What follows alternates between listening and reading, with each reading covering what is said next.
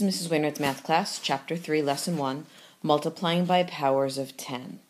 This is a large review from chapter 1, lesson 1D, and chapter 1, lesson 1E. Remember, if you see a number that's greater than 1, greater has the r's, that means we're going to move our decimal to the right. And if you're multiplying by a power of 10 less than 1, less has the L, we're moving our decimal to the left.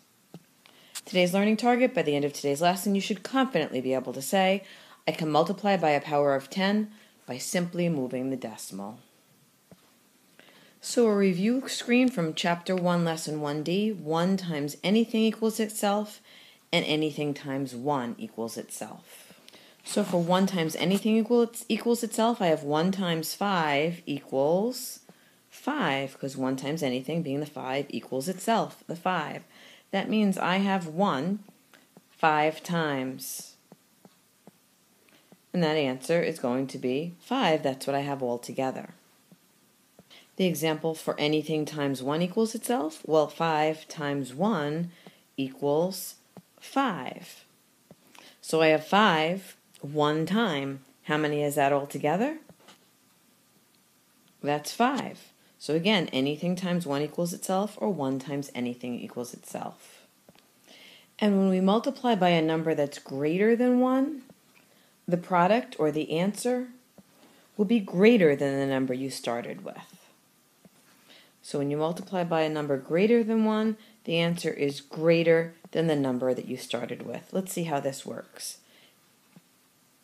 If I take 5, which will be my starting number, and multiply it by 10, which is a number that's greater than 1, my answer should be greater than the number I started with.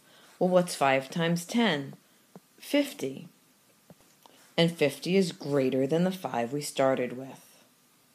And if we look at the pictures, we see that that makes sense. Because I started with 5, and I'm going to multiply that, or I'm going to write that 10 times. That's 2 times, three times, four times, five times, six times, seven times, eight times, nine times, and ten times. So if I take 5 and I show it 10 times, my answer is going to be greater than the number I started with. And remember, we can put those two facts together to find a trick when multiplying by a power of 10 number. That's a number with a 1 and zeros.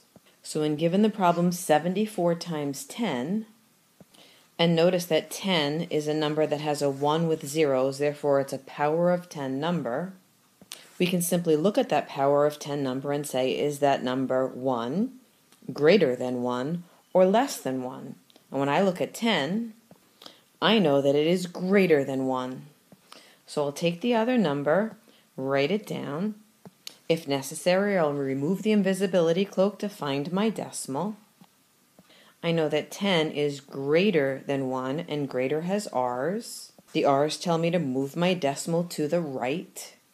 So I will cross out my decimal and move it one place to the right. The only problem here is there's no digit to move it around.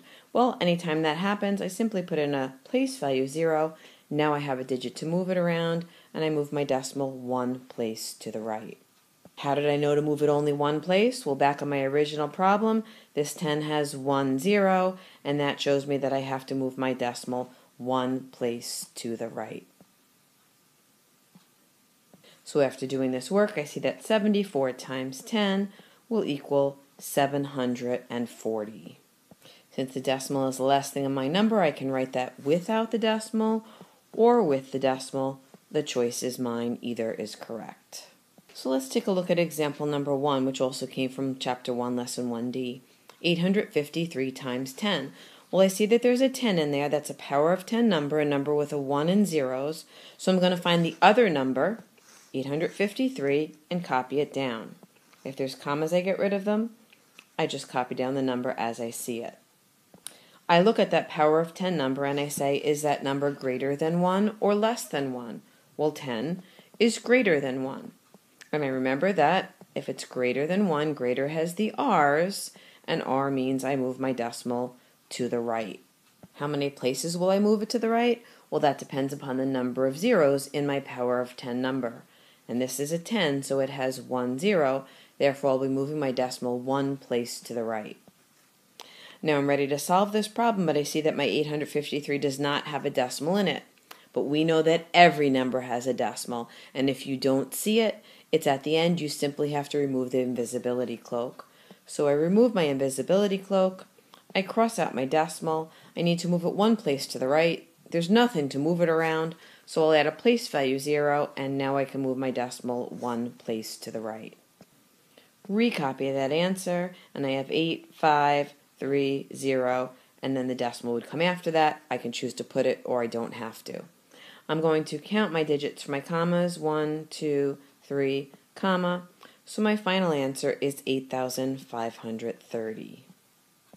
Please stop the video and complete worksheet number 1 right now. Let's take a look at example number 2. And I know this says a 3, but that's because I copied it from chapter 1, lesson 1D. This was example 3 in that video. We will change the number afterwards because when I copy it, I can't change it right away. So I have 734 and 6 tenths times 1,000. And I see that there's a power of 10 number here. It's the number ha that has the 1 and zeros. That tells me I can simply move my decimal. So first I focus in on the other number and I copy it down as is, 734 and 6 tenths. And then I'm going to focus in on my power of 10 number. That's a 1,000. Is 1,000 greater than 1 or less than 1? Well, of course, 1,000 is greater than 1. And greater has the r's, and that means that tells me that I'm going to move my decimal to the right. How many places will I move my decimal to the right? Go back to my power of 10 number and count the zeros. One, two, three zeros. Therefore, I'll be moving my decimal three places to the right. This number has a decimal already, so I simply have to cross out the decimal. I'm going to move it three places to the right. That's one, uh-oh, I don't have any of the digits to move it around. That's fine, I can add place value zeros. There's a zero, now I move it two places.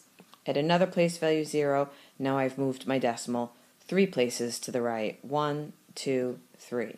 Every time you move it, you're moving it between numbers. Remember we taught you at the beginning of school how to cut properly in line? When you're moving a decimal, it's like cutting the number.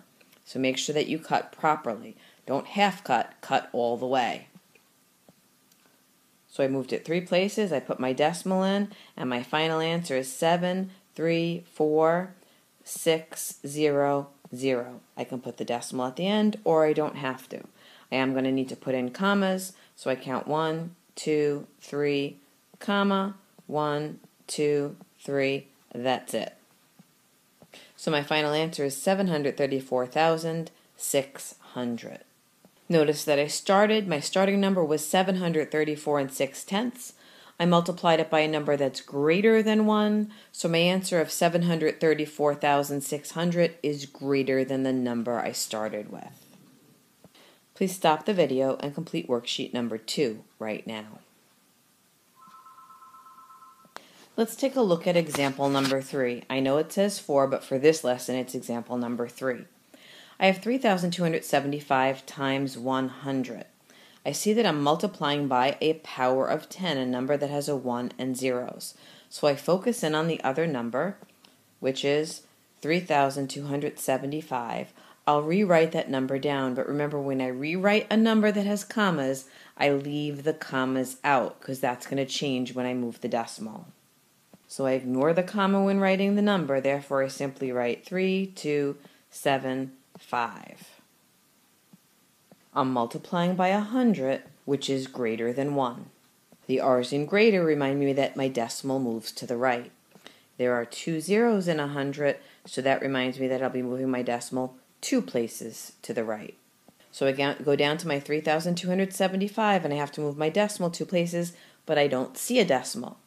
So we remove the invisibility cloak, the decimal is at the end. Now we can cross it out and in order to cut or move two places to the right, I have to add a place value 0. I can move it one place, add another place value 0, now I've moved it two places to the right. So my answer will be 3, 2, 7, 5, 0, 0. I can choose to put a decimal in at the end if I want to, or I don't have to, and I'll count for my commas. 1, 2, 3, comma, 1, 2, 3.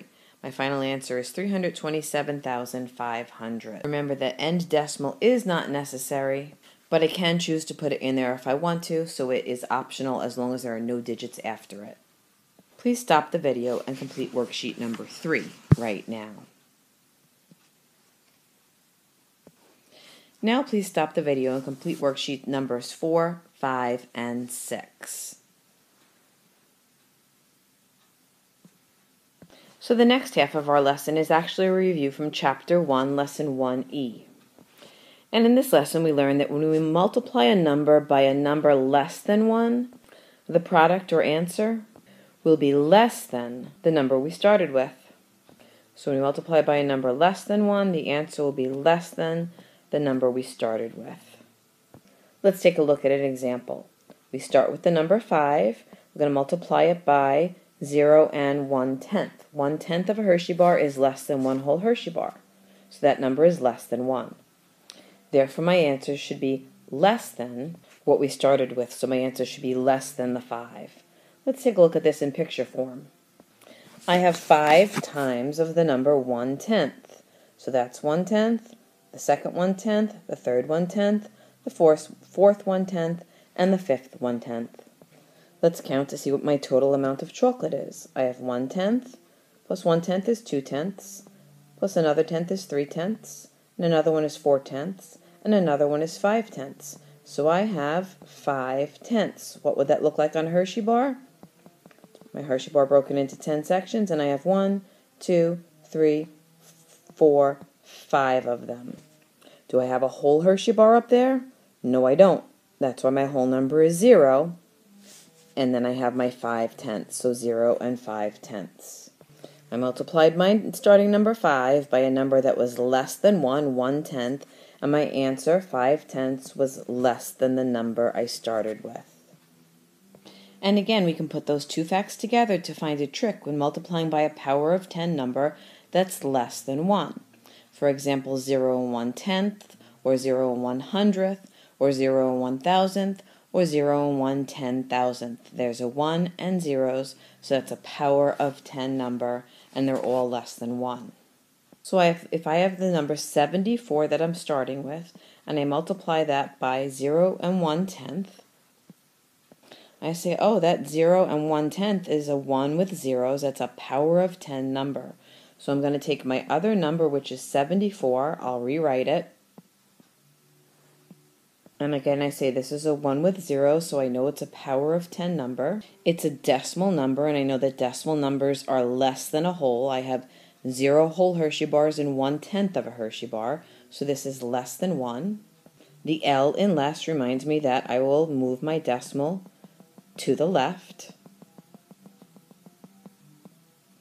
How many places will I move it to the left? Well, there's one zero, so I'll have to move it one place to the left.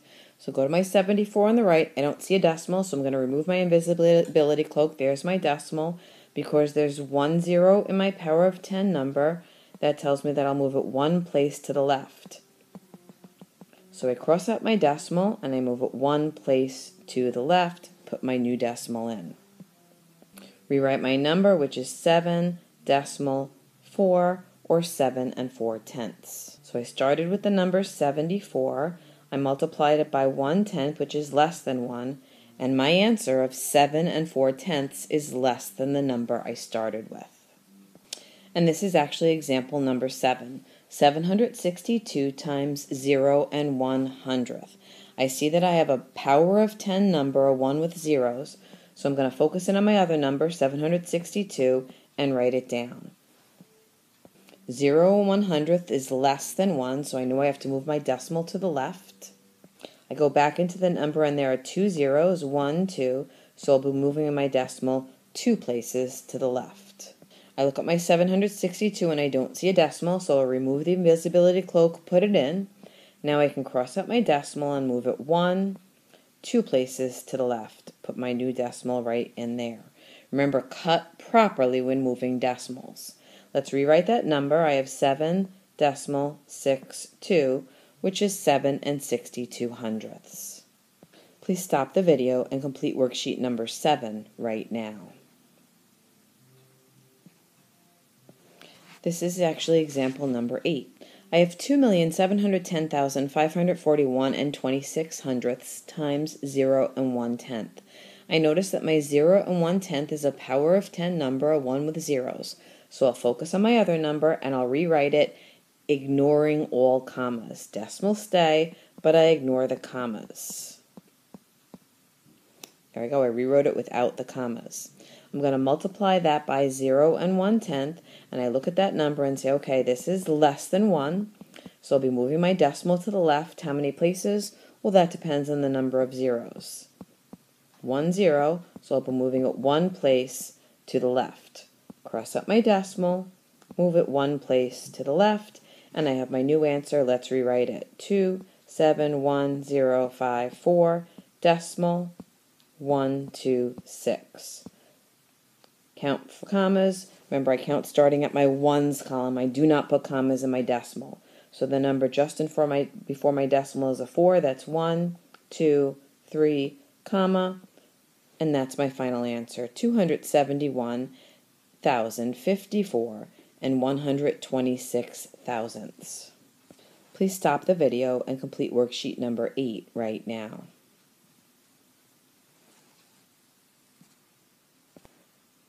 Please stop the video again and complete worksheet numbers 9 through 11. Let's review. Anything times 1 is itself, and 1 times anything is itself. So when you multiply by 1, your answer does not change. It stays the same as the number you started with. When you multiply by a number that's greater than 1, your answer will be greater than the number you started with. When you multiply it by a power of 10 number greater than 1, that's like a 10, 100, 1000, 10,000, a number that has a 1 with zeros, you can simply move the decimal. Since the number is greater, the r's in greater mean you move your decimal to the right, and the number of zeros tell me tell you how many places to move the decimal to the right. If there isn't a, a digit to move around, you can add a place value 0 to have something to move around. When you multiply by a number that's less than 1, the product of the answer will be less than the number you started with.